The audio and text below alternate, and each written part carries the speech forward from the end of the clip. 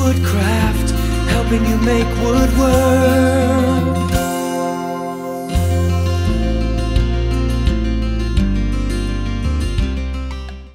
It was good there. All right. Welcome everybody who made it out for our Woodcraft demo today. Um, I'm going to be talking about how to use set up the 45 degree lock miter bit. Uh, I grabbed one out of the classroom. This is made by WoodRiver. Uh, this one will do half inch up to three quarter inch material. Does that mean you have to do half or three quarter? No, it could be anything between there. That's fine as long as all your stock that you're using is milled the same. Um, which also when you are doing this, whether it be for small boxes, uh, drawers for cabinetry, mill up extra wood so you have lots of extra to play with. I preset this up earlier in the classroom. It can take upwards of 20 to 30 minutes to do. Um, so I've got it preset. I'm going to walk you through how it works. And in the end, if you would like a set of instructions, I'm going to cover over the name on there. Set of instructions we can print out for you. These are the best ones I have found uh, on the internet. These are actually for a competitor, their specific router bit, but it works with this. It should work with the Whiteside and also with the Freud. So great instructions, and I know Jerry, you said you have one of these. You haven't tried before. Uh, Denny has apparently tried to use this in the classroom, had issues with it. These are fantastic instructions. So the first thing to do is get your stock. Uh, in this case, I just grabbed poplar. This is all three quarter inch. Works just fine. What you need to do is find a center line on here. And there's a center line on this bit. You can't really see it. Um, where this upper carbide tooth is, there's a piece behind it. I kind of use that as my beginning center line. And I will align that with this mark that I've made on there. You see, I didn't grab any measuring tools. I just found what was close to center. I'll put it in between that little mark that I made on there. It's just to get it started. Um, you notice I haven't really done anything with the fence except for bring it out so that about half the bit is poking out or a little less than half. Um, in the end, it should be the thickness of this that's poking out, but don't don't even worry about that at this point. All we're, all we're doing is finding center. So the first thing we're going to do is run two pieces flat down on the table through the bit. And there are pictures along with these instructions that are on here so that if you, when you set these up and put them together, you, you have to follow the pictures uh, as to which cut is going which direction. So the first thing we're going to do is two end grain cuts across there and we're going to stick them together and see how they fit this way. So first thing is adjusting height on there. So I'm going to put on my safety equipment here. I'm going to use, you can use a regular miter gauge. We have the slider here from JessEm. Um, also, if you want, uh, on these practice pieces, I don't worry about a backer piece, but you can run a backer on there if you don't want it to split out, or leave your piece wider than normal, and then just trim it off in the end, so if there's any tear out on there. I'm not going to worry about using backer pieces for this. Yes? If you use the regular miter gauge, you gotta make sure that fence is parallel to the miter groove, right? Yes, and this is a nice fence where you can actually uh, set it to the gauge on the sides here. So you can set it up, I normally put this zero on center. Um, I brought the fence up close to it. These gauges weren't actually set. So after I brought the fence up, I zeroed out the fence to these, uh, to the rules that are on each side. There's a little thumb screw up underneath. And that way, any movement I'm going to do after this, when I adjust the fence, I can adjust it from that zero mark and know that both sides are exactly the same. Okay. Um, miter gauge, if you're using a regular miter gauge in your miter slot, you're probably going to have to put an auxiliary fence on there so that you can get some extra backing on there. And then the one push stick that I, or push block that I don't normally use or recommend, I'm actually going to use one to help hold the stock down as I'm pushing it through so it doesn't jump around on me. So all of that stuff here, unfortunately you can't use a, uh, a feather board with this. The miter gauge gets in the way. So no feather board at this point.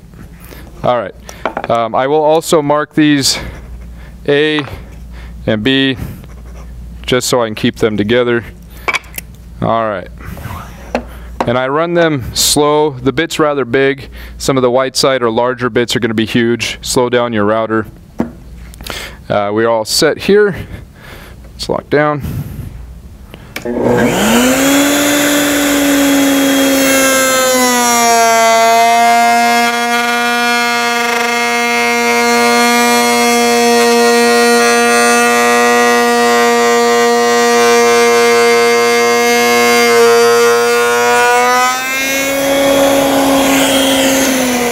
The first one. I'm going to run the second one. Pardon? a little quieter. A little quieter, I'll try. Shh.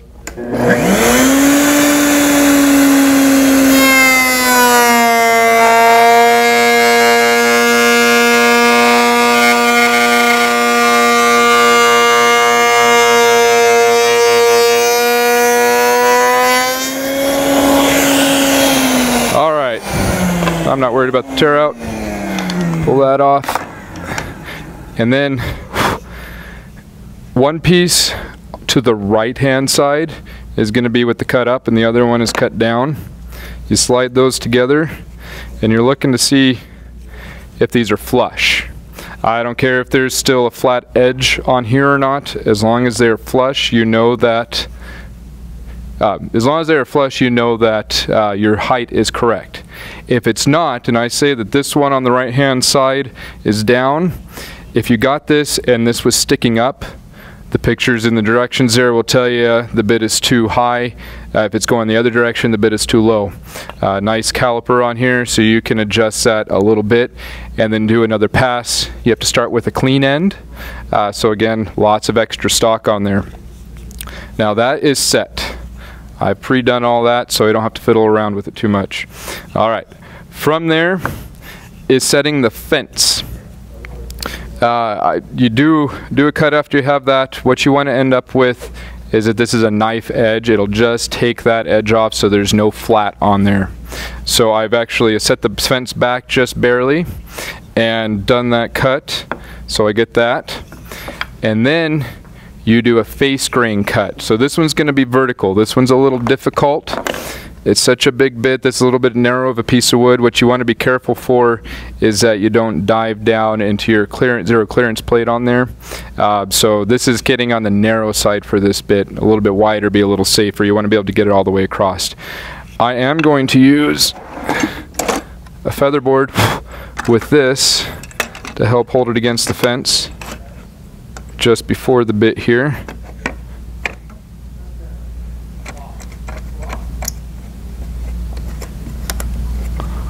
And I'm going to use a different push block here that has a couple keepers on the back so I don't get my fingers in the way. Can I ask you another question? You can. Now, I have this similar table, like Okay. How do you, you prevent tear out on the end? Uh, you'd have to run a backer board in there. Sorry? A backer board, so it'd be a separate piece behind it that's butted right up against to it. On the cut you just made, you didn't, No, I didn't. I wasn't worried about a backer piece in there because this is just test stock. So you can do one or two things. You can put a backer piece in there to help prevent that, or leave your stock wide and trim off any tear out. Yeah, yeah. Uh, on this test stuff, I, I really don't care if it chips out. So, all right, featherboard set. Yeah, yeah. Um, and then, of course, the push block so that you can get your fingers out of the way, uh, push in and down. And you got to be very careful that at any time you're not going to tilt this one way or the other. All right. So this one again, take slow. Let the let the cutter do the work.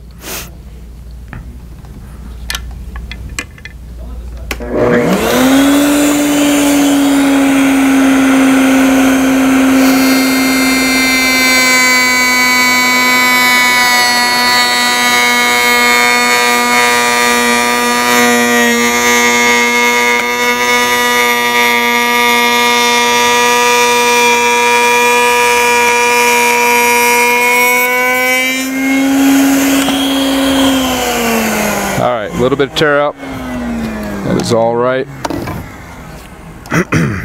so now you can take your first board again and you can set them together. And you're going to look at that edge to see if I can get these pushed together all the way that they meet up I'm going to have to run that piece through again. I must have tilted it slightly. If you do do that, you can run it again through uh, without changing anything, and I'm going to go ahead and do that to clean that up. Um, but what you would want to look at at this point is how is this piece in relationship to the other? Is it down? Is it up? Uh, that will tell you if your fence needs to be moved forward so less bit is exposed or moved back if more uh, if you need to uh, uh, expose more bit. Okay, I'm going to run this through one more time so it looks a little better here.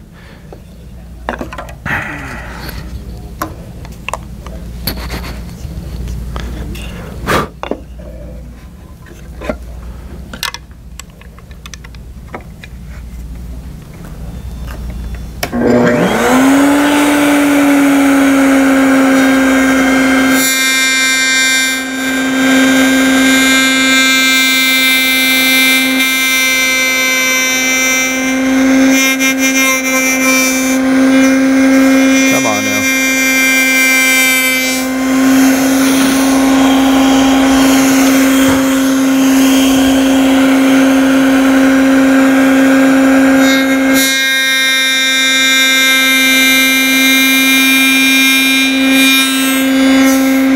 Come Shoot.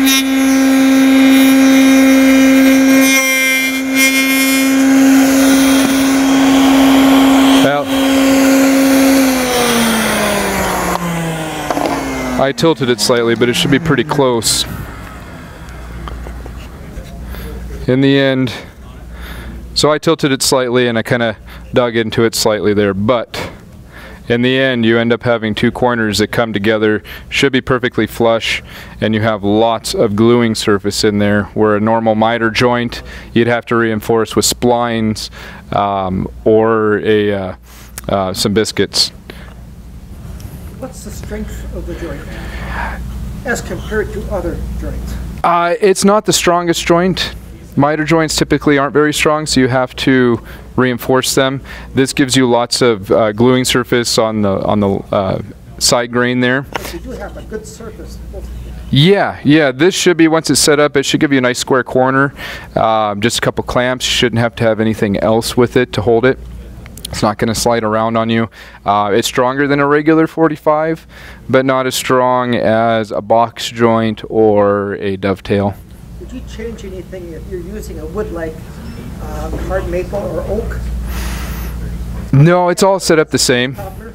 Yeah, this is poplar. I grabbed this because it was pre-dimensioned. I didn't have to fiddle around with that. Um, no, it's all the same. It wouldn't matter what kind of wood you're using. You could do it with plywood as well. Um, you got to be careful. It will tear out a lot on plywood, but it works the same. Other questions? Like I said, I'll have uh, instructions if you like. I can print them out for you to help. Yeah, best ones I can find. All right. Thanks for coming today.